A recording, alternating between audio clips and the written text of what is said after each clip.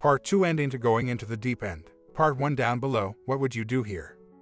I could tell Donna was signaling it was time for me to speak or ask anything, but I was still digesting her story. She broke the silence, saying, I'm really sorry. I want us to stay married. I love you. I know I messed up. If you want a divorce, I'll be devastated. But I won't contest it. I believe we can be fair about it. You can see the children whenever you wish. If you feel you need to even the score, I understand. I would dislike it, but you have my blessing to do what you need. Alternatively, you can let me prove my commitment to you every day, month, and year. My response was direct. This seems well thought out. She explained, ever since that incident, I've been anxious about the impact. I've considered our situation and prepared for the moment you found out. So, yes, I've been ready for a while. I hoped it wouldn't come to this, but I had my response planned. That was typical of Donna. She always rehearsed for public appearances, managing to appear genuine. That's what made her successful in her previous role. She was always rehearsed and ready. Only I could discern her authentic sincerity from her public persona because I truly knew her. If she had rehearsed this dialogue, practicing in front of a mirror as she often did, then every word was carefully chosen. Among her rehearsed words, I sought something that might help us move forward. What do you mean by making it up every day? It means I'll try to make amends for as long as I live. Whatever you ask, I'm willing to do. Her statement was broad. Everything, within certain limits. I'll do things that make you happy. I'm willing to do all those things, within limits. You can't confront the other person involved. The other person. You mean Craig. Not that I was planning to, but why shouldn't I? And using the other person doesn't really ease my mind. It implies something more significant. I used the other person because I thought his name might upset you more. Lover or boyfriend would have been too much, and he wasn't either. I didn't know how else to mention him without causing you pain, so I thought the other person was less hurtful. Should I just call him by his name? I appreciated her effort to be considerate of my feelings. Yet, the term the other person seemed to elevate his significance in her life. Let's stick with Craig. I can deal with that. So, why can't I confront him? It was my doing. I was the one who carried it on. So, are you trying to shield him? Not at all. It's our marriage I want to safeguard. I don't want you to lash out and make a decision that would entangle him in our lives permanently. He's out of the picture. I don't want his mistake to haunt us now. If you end up harming him and getting imprisoned, I'd be the one losing you. Moreover, while it might not seem like punishment to you, believe me, the blow to his pride was significant. You just have to take my word for it. I've never really been one for extreme actions. It's not that I lack the capacity for dark thoughts, rather, I value my own safety too much. But that didn't mean I wasn't interested in a form of retribution, albeit a less drastic one. Letting go of that desire would be a significant sacrifice, even though I trusted Donna's claim that she had shattered his self-image. I could empathize with how that would feel, as I've never been under the illusion of being a charmer myself. It was time to shift focus to more positive aspects. Are those the only terms? I get a say in everything else for the rest of our lives. Yes, anything you desire, whenever you want, no disputes, including more adventurous intimacy. Yes, absolutely. You can have your way, and I'll go along with it, even pretend to enjoy it for your sake. I needed time to process. Dad had always cautioned me about the risk of my wife being drawn to someone else. Turns out, he was spot on. Naturally, he was the last person I wanted to discuss this with. Instead, I reached out to my lifelong buddy, Gauntz. His real name was Armando Gonzalez, often called Mando, but to me, he's always been Gauntz. We typically caught up during the week, yet this time, I needed my friend immediately. I phoned him, Gauntz, hey, can we grab lunch today? Not the best time, I'm busy with a soundtrack for a local indie film. Gauntz, I really need to talk. If you think you owe me any favors, now's the time to cash in. If not, I'll be in your debt after this. It's crucial, we ended up at our favorite spot, known for its exceptional margaritas and nachos. As usual, Gauntz and I ordered both, though sometimes we'd skip the nachos. I sipped my mango margarita and then shared my burden with an eager Gauntz. Donna was unfaithful. Gauntz nearly choked on a tortilla chip, quickly taking a sip of his raspberry margarita to ease it down. What, really? Does she have feelings for him? Used to. It's all in the past now. He's not even around here anymore. I shared the entire story with him. Gauntz was completely engrossed. He can be quite attentive when the situation calls for it. He realized the gravity of the situation for me. After finishing, I explained the choices she had laid out for me, a comparable indiscretion or her making amends indefinitely. Gauntz questioned, for the rest of her life, how does she plan to do that? She's willing to do whatever it takes, I said. And what exactly did she say? She said, everything. Gauntz couldn't help but smirk and then asked, does that include every possible way to make it up?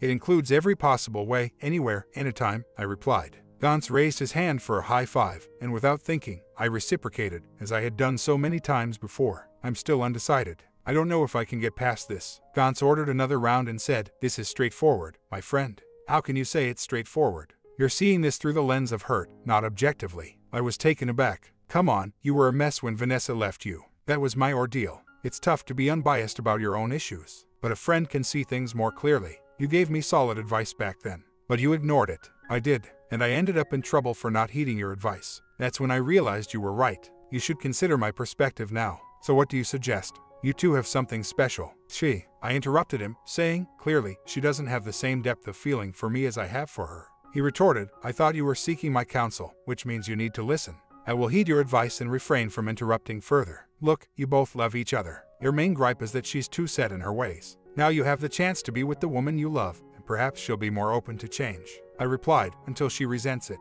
Then savor the moment. Trust her words. For once, you have the upper hand. And when things go south and she fails to keep her promises, it might be a year, five years, or even ten. But even if it ends, you would have had an incredible journey. He's my best friend for a reason. I genuinely wanted my marriage to succeed. So, I decided to follow his suggestion. But figuring out where to begin was daunting. The possibilities seemed endless. I opted for a classic approach, often initiated by women in relationships. After putting the kids to bed that night, I told Donna, we need to talk. We sat together on the living room couch. She looked uneasy, so I took her hand to comfort her. I've thought over the choices you laid out. I don't favor any of them. There's no quick fix for this pain. I'm hurt. I understand, she said. I want us to remain together, to grow old with each other, and to be there for our children and future grandchildren. My love for you has only deepened over time. However, moving past what happened will take a while. So, I choose all of the above. I'm skeptical about your sincerity, but I'm willing to give it a shot. If you're truly committed, we'll overcome this. I'll be observant but not spiteful. If this arrangement fails, then we part ways. I will hold you accountable. A single failure, and it's over. I'm trusting your earnestness, and I need this to work. Donna gave me a kiss, not one of passion, but one filled with love. It's a kiss that anyone who has experienced knows well, the feeling of being the most significant person in her life, as she tenderly kisses you, affirming her love. I meant every word. Forever, I'm committed to doing what I promised. I never speak without reflecting first, and this has been on my mind for ages. I'm actually looking forward to it. That night, we just held each other close, seeking comfort and reassurance in each other's presence, without any further intimacy. It felt like that was all we needed, to be in each other's embrace and feel that everything would be all right. Come morning, I was eager to see how strong her promise was. The potential for what lay ahead excited me. I had no doubts about her sincerity. Now, I was curious to see if her commitment would endure. Our first venture was shopping for lingerie. I had never chosen lingerie for Donna before. She was particular about what she wore and preferred to make her own selections. But this time, we shopped together, and I selected a few options for her to choose from. She didn't choose my top pick, yet I was content with her choice. Then came the backyard makeover. Did I ever mention my fascination with pirates? I installed a flagpole and hoisted a Jolly Roger, transforming our backyard into a pirate haven, complete with a redesigned pool featuring sharks, alligators, and dolphins. Donna found it somewhat silly, but the kids were thrilled. Whenever Donna hesitated, I just had to say all of the things, and it would resolve any major disagreement. A simple AOTT was all it took to settle things in my favor. I even managed to sway the smaller decisions. For instance, I've always enjoyed karaoke, a hobby Donna never shared. Despite lacking the voice of an angel, I took delight in singing, especially performing songs like Sex Bomb, much to Donna's amusement. Sure, I embodied the stereotype of a rhythm-challenged white man, but the fun was in the experience, not the judgment. Come Halloween, I went all out decorating our home with tombstones and convincing Donna to don scary costumes with me. Zombies one year, vampires the next, and then scary clowns. Vacations were another highlight. I finally got to take Donna and the kids on adventures she used to avoid, like whitewater rafting, ensuring it was safe, of course. The kids had a blast, and while Donna had her concerns, it all went well. I was skeptical about her sticking to her promise, but Donna proved resilient. Whenever we disagreed, she didn't hesitate to voice her opinion and if we reached a deadlock, I'd end the dispute with AOTT, our agreed upon trump card. It took time for me to realize that not every new challenge would be the breaking point. In our intimate life, we explored boundaries, and while it was clear she did it more for my sake than her own enjoyment, her willingness to try meant the world to me. Her humorous approach, like the playful note she left, was as significant to me as the act itself. It was about the shared experience and understanding between us. I also acquired Blu-rays of every show featuring Carmen, Despite Donna's okay, I thought watching these on a shared streaming account might seem insensitive. Plus, Blu-rays offered interviews and unseen footage, which I enjoyed in private, tucked away in my desk during Donna's absences. Some of these shows were gems I had missed, and others, admittedly, were not great. Raising our children was an aspect I wished to influence more. Previously, I had often deferred to Donna, but now I felt it was time to reevaluate. For instance, Allison wanted to attend cheerleading camp, which Donna strongly opposed, claiming it objectified women. I saw this as stifling her interests. She's young, and for her, it's about fun and performance, perhaps something we should support. It's not about being objectified at her age, we should let her choose, I argued. Donna was not pleased, but I stood my ground, using the argument again for our son, Nick, who showed interest in playing soccer. He wasn't naturally sporty, but he enjoyed the game, possibly influenced by his mother's sports journalism background. Donna's concerns shifted to safety, specifically concussions. I countered, kids playing soccer isn't the main risk for concussions. They're more likely to get hurt doing something like climbing a tree. I wasn't entirely sure of the facts but felt confident in my reasoning. Following Gonce's advice turned out to be beneficial. Life was good with my loving family. I had forgiven Donna, and we were happy, though unbeknownst to me, Donna was finding it increasingly difficult to maintain our arrangement over time. Our routine included date nights, usually on Fridays, to accommodate my sporadic weekend work. We preferred to call our clients clients, avoiding the term customers, which seemed outdated. We'd hire Shelley, the teenage neighbor, as our babysitter, ensuring we returned by 10 p.m. These nights were not weekly but cherished moments for just the two of us. However, we never overextended our time out, mindful of the trust placed in a young babysitter. The first hint of trouble in our arrangement surfaced during one of these evenings. We were at a karaoke bar, and I had just aced the Elvis tune, Can't Help Falling in Love. My eyes were on Donna throughout the performance. After I stepped down from the stage, she gave me a quick peck on the lips. It caught me off guard, making me slightly uneasy, so I didn't reciprocate the kiss. She pulled back and remarked, Thanks for singing that song. It was so captivating. You really moved me. That peck and her words stirred something inside me. Returning to our table, I knew Donna noticed the effect and I was prepared to assure her that it was all unexpected and meaningless. However, before I could speak, Donna remarked as I sat down, That woman is pretty. Her tone took me by surprise. It felt odd, almost as if she was pleased about my encounter. Sure, it would be typical of her to appreciate such a moment with me, but saying that woman is pretty was out of character for Donna. I simply responded, Yes, she is, but not as much as you, and gave her a kiss before sitting down. I was uncertain about where this conversation was heading and hoped it would end there. She kissed you. I know. I was there. Did you see her appearance? I think she's naturally beautiful. They look fine. They're not just fine, they're stunning. Perfect, even. Responding to that felt awkward. Yes, the woman was attractive, but I was expected to maintain that my wife was the most beautiful. I cautiously said, they seem above average. If I were a man, I'd be drawn to her. Even as a woman, I might be intrigued for a while. Donna's enthusiasm was unusual. She didn't appear jealous of the other woman's beauty, rather, she seemed to admire it. Donna had mentioned other women's appearances before but never in such a suggestive manner. I couldn't deny the woman's allure based on her visible features. The term perfection felt odd, as one couldn't really tell just from appearances. The whole situation was perplexing. Later, I discussed it with my friend Gance. Gance was straightforward. Was she appealing to you? Absolutely. Do you think she was instigating this situation? Could this be her thing now? It's never been her thing. Until now, perhaps. Gance gave a friendly tap to a server as she walked by. He took a moment to exchange numbers with her before he continued. You know, Donna is struggling with what she's agreed to. It's like wearing something that doesn't fit right. It's uncomfortable. I understood Gance's point, but it was still shocking to me. I questioned, so, she's so eager to change things that she wants me to be with another woman. That's what I'm getting at. I doubted Gance's words. The idea of Donna wanting me to be with someone else, while everything seemed fine between us, was hard to grasp. I couldn't believe she would prefer that over keeping things as they were. I had always been fair in my expectations. If she had issues, she never showed them. Part of our understanding was that she would go along with my requests without objection. So, it was difficult to gauge her true feelings. I decided to be more observant, and soon enough, I noticed a pattern. On one of our date nights, Donna suggested a new spot named Grand Tetons. As soon as we entered, the theme of the place became obvious, and notably, there were only female servers. Layla, our waitress, who was quite noticeable, approached us and immediately acknowledged Donna. Is this the wonderful husband you've talked about?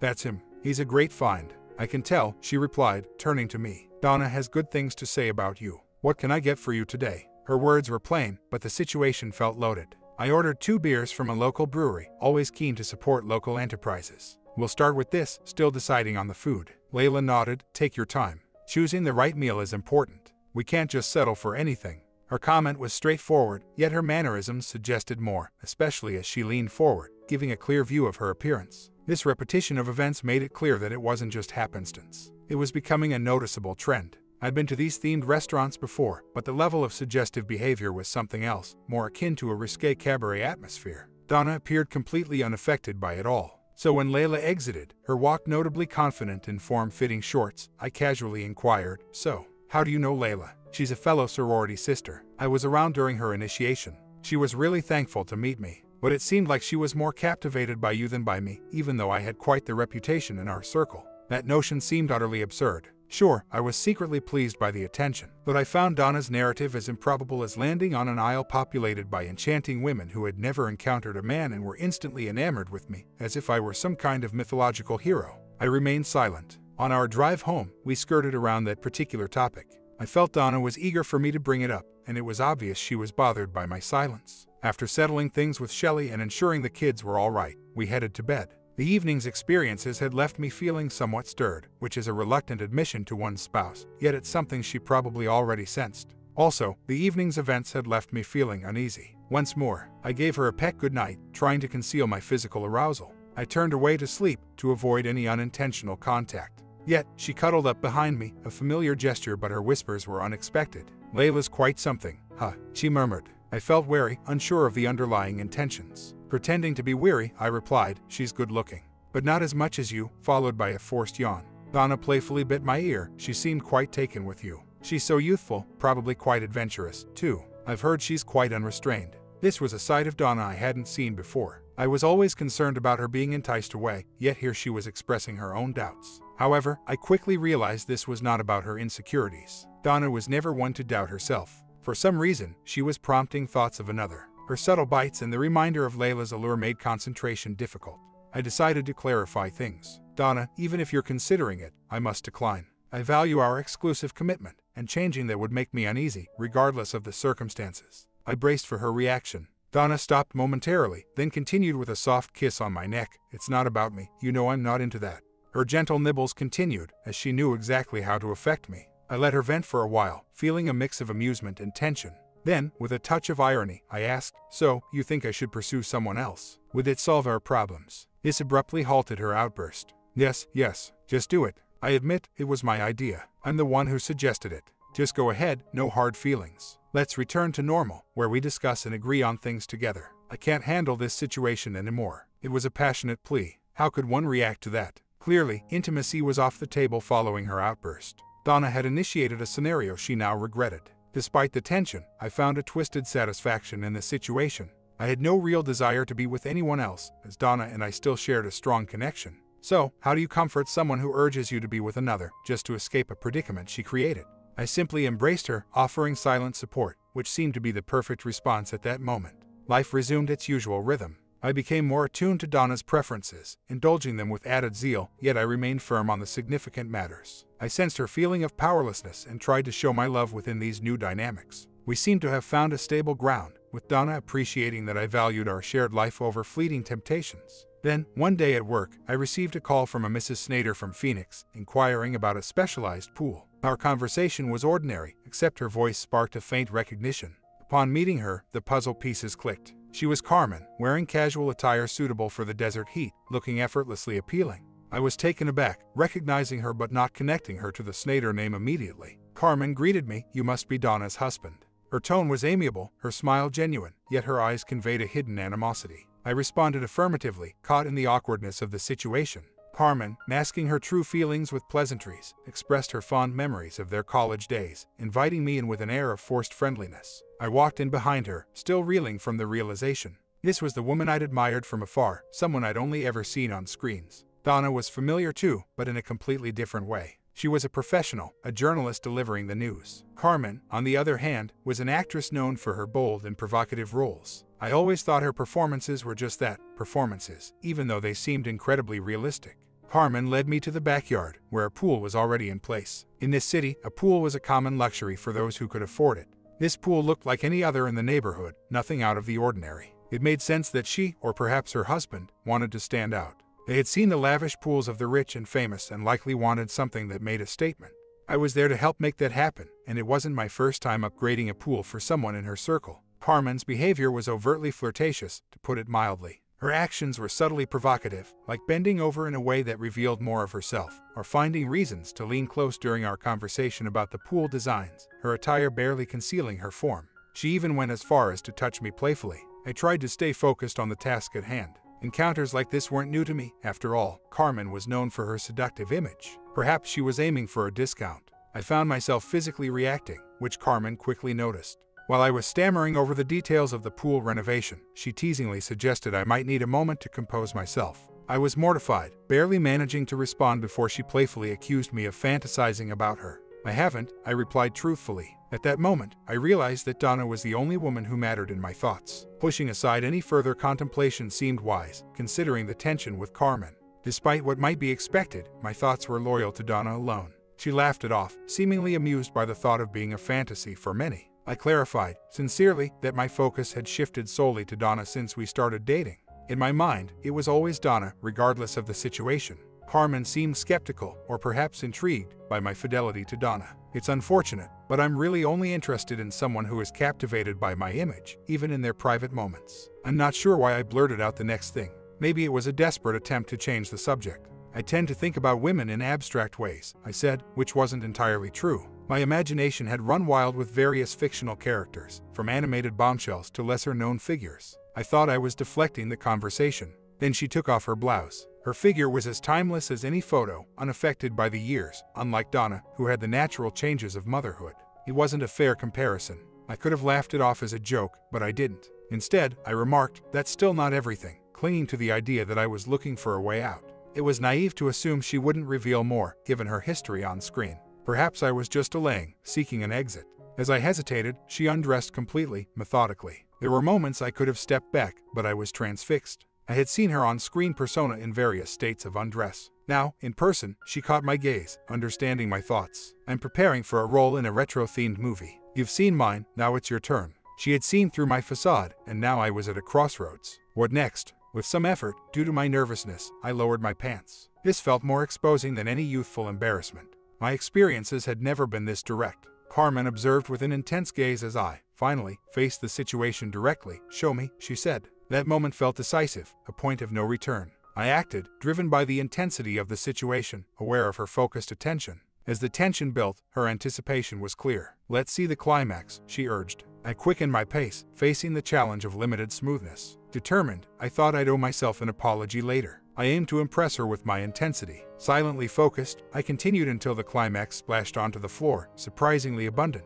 While the quantity might not matter to others, it gave me a sense of achievement.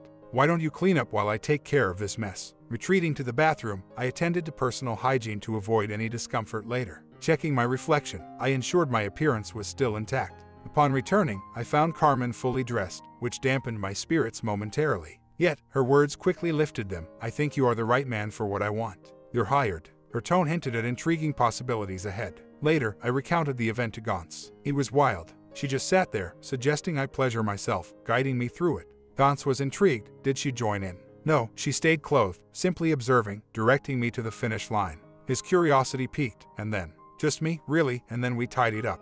Gance's expression conveyed mixed feelings, like a friend hesitant to share unwelcome news. That's quite the tale, he concluded. Yeah, it was something you had to experience. Gance ordered another round before he continued, so you just did that in front of her. You just broke your promise. What do you mean? You crossed a line. I tried to explain it to him. It's not crossing a line. She wants me to come back, so it could lead to something. Maybe. So you can act out while she watches in every room in the house. Celebrating in the kitchen by acting out while the undressed woman watches and applauds. Wow, living the dream, Gance raised his glass in a toast. Oh no, I messed up, didn't I? Gance gave me his not judging, but judging look. That look always meant for me to pause before responding and think about things. While I was doing just that, he said, think about what you're giving up. All of the things, all of them. I did think about it in the few seconds I had to consider it. My answer was, yeah, but it's Carmen Legarreta. Is one person worth giving up everything you have? It's Carmen Legarreta. That should have settled the argument, as far as I was concerned. How special can she be? Does she have some kind of magic charm? Come on, wouldn't you consider it for her? No, she's attractive, but so are other women. She's not even that talented. I bristled a bit here. I think she's good for the roles she's cast in. Yeah, but you said good, not great. The attraction you feel is a fantasy from watching her on screen. You have been happy. For years you've been telling me how thrilled you've been with Donna supporting everything you want. You really want to give up that part of your life for a fantasy. I said in my calm voice, Gance, you make a great point. I appreciate your wisdom. It was very good advice. It really was. I ignored it. I mean, since when had Gance been the voice of reason in my life? After that incident, I had to act as if everything was normal with Donna. Technically, Carmen and I hadn't crossed any lines, but still, I found it difficult to behave as if nothing was amiss. Organizing my three-week getaway with Carmen required careful planning. I booked a flight to Florida under the guise of meeting a client, followed by a return trip to Phoenix. Indeed, I had the opportunity to be intimate with someone else. I could have been upfront with Donna about my intentions with Carmen. Yet, I couldn't bring myself to be honest. It was a complex web of deceit. First, I wasn't entirely sure what would transpire. Second, Carmen was Donna's adversary. So, I stuck to the story of traveling to Florida for work. My justifications were piling up. In my mind, I was sparing Donna's feelings and maintaining the facade of professionalism.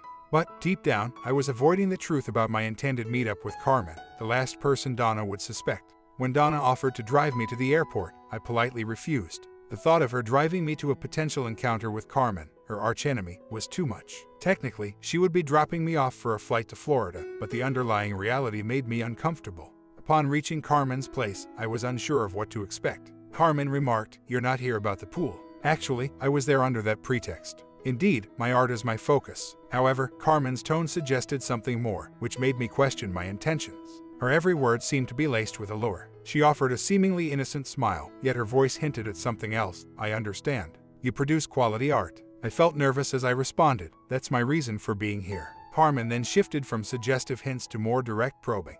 If that's the sole reason, you may as well leave. Plenty of others can design pools. Is that your final decision? Her tone was a mix of challenge and disinterest, as if it didn't matter to her either way, yet also conveying a desire for me to stay. It took me a moment, but I realized she was prompting me to express my attraction to her. I was here hoping for a mutual desire. Caught in my conflicted thoughts, I decided to be frank. I stated, I'm here to design a pool for you. But if there's no chance for an extraordinary experience, let's cut the charade. Second best, she queried. Donna was always the pinnacle for me. Whatever the activity, there was an inescapable sense of comfort and familiarity with her. I see this as a friendly rivalry, and I'm thankful for your candor. Allow me to create a situation where I could possibly be second to her, I said, embracing the challenge. Carmen seemed to catch my drift instantly. She managed to persuade me to let her have a go at being second best, echoing my own phrase. There I was, restrained on the bed, completely at her mercy. She positioned herself above me, teasingly close yet just out of reach. You've dreamed about this moment, she declared, her tone suggesting it was a well-known fact.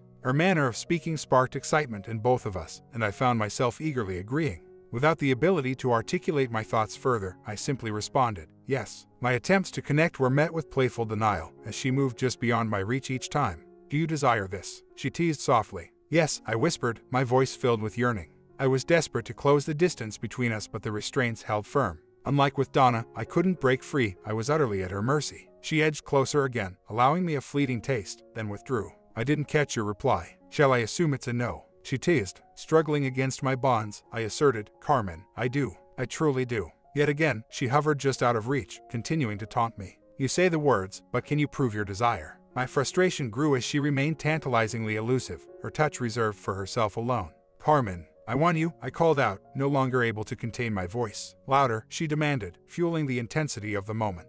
I had always been moderate in expressing myself intimately. Vocal, yes, but never loud, considering Donna and I had children. However, with Carmen, I couldn't hold back. Carmen, I desire you intensely. As she came closer, her words were an invitation. Indulge in me. A part of me feared she might withdraw, but that fear quickly passed as she stayed. Her words turned sparse, punctuated by their more and sighs of ecstasy while I was lost in the moment with her. Then she was with me in a way I had longed for. A pressing question crossed my mind. Are you on birth control? She hesitated, creating a tension before replying. Does it matter given our similarities? But it matters to us, I responded. Her movement paused, questioning, should I stop? The prudent answer would have been affirmative, to avoid any complicated consequences. Yet, what escaped my lips was an unrestrained no. Gratefully, she continued, and her words became more daring. I was caught in the moment, not pondering the truth behind her words. In that instant, nothing else mattered. The next morning, I awoke alone, the euphoria of the night before replaced by a stark solitude and the echo of her words. The reality of the evening's events hit me hard as I left the bedroom, finding Carmen in the kitchen, casually dressed, embodying a serene domesticity.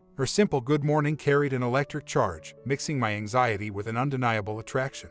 I managed to ask about coffee, to which she responded positively, continuing her morning routine. I poured myself a cup of coffee, and it was delightful. The flavor was rich and complex, as if crafted by masterful French chefs, yet it carried an invigorating zest reminiscent of Ethiopian heritage, hinting at the coffee's storied origins. Carmen presented two stunning omelets, and eating them felt heavenly. The ingredients were a mystery, but the taste was divine. Midway through my second cup, I expressed concern about the possibility of an unintended pregnancy. Carmen, with a laugh and a reassuring touch, informed me she was on birth control, minimizing such risks. Relieved, I questioned why she teased about the topic. She found the thrill appealing, which left me pondering the allure of such risks. That month was intensely passionate and full of activity, though not exclusively so, we balanced our time with other tasks, including planning for a pool. Carmen was open about her preferences, which was new to me compared to past relationships. Reflecting on our time together, I acknowledged my complex feelings and the guilt I harbored. The affair, especially with someone my wife disliked, was thrilling yet burdened with remorse. Returning to Florida, I grappled with the notion of confessing to Donna.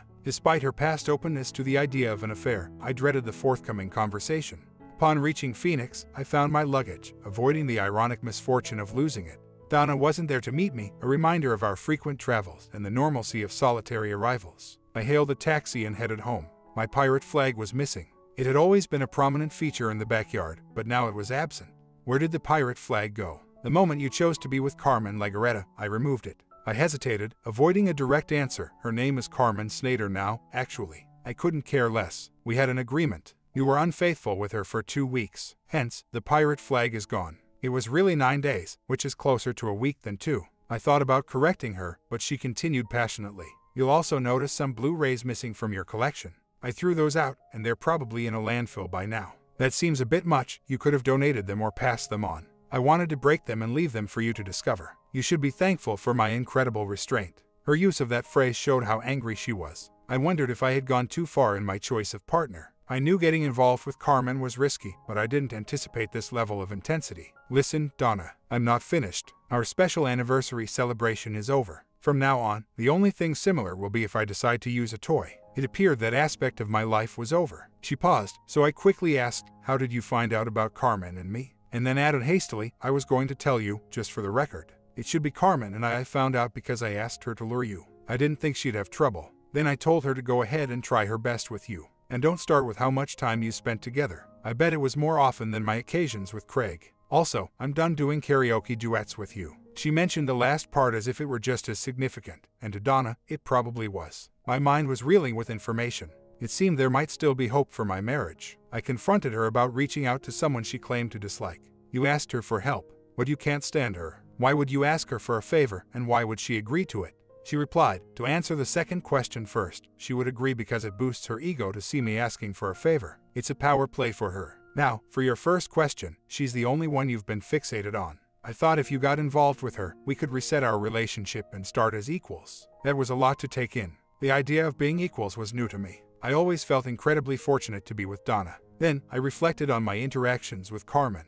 I had never sensed any ulterior motives from her. I was mistaken about her intentions, thinking she was genuinely interested in me. It's unfortunate she hasn't received recognition for her acting skills. And your first point? I asked. I couldn't bear it any longer. The situations you wanted became more and more outlandish. It felt like torture, but you wouldn't get involved with anyone else. I thought the only way to make it happen was with Carmen. Carmen? Who's that? Carmen, you fool, she exclaimed. I was momentarily taken aback by the nickname Carslut. Carmen and I had never been involved in that way. A wave of regret passed through me, but I realized that wasn't Donna's point. I understand now. I'm relieved to have moved past that. Phew. Donna seemed pleased with my acknowledgement of her superiority in our relationship.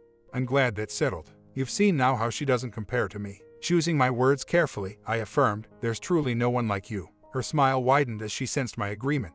Good, then enjoy the limited time you have left with her, just for the pool project. Step out of line, and we're heading for divorce. I managed a weak smile, so this is where everything ends. Not everything, she clarified, just some things. There are a few aspects we should retain. That night, she was gently restrained and exposed on the bed. I ran a feather duster along her skin, reigniting a familiar thrill within me. Her excitement was palpable. Donna was eagerly anticipating my next move. I positioned myself close to her, teasing her, which left her wanting more. I understood that desire all too well. Despite relinquishing some aspects of our relationship, I wasn't truly discontent.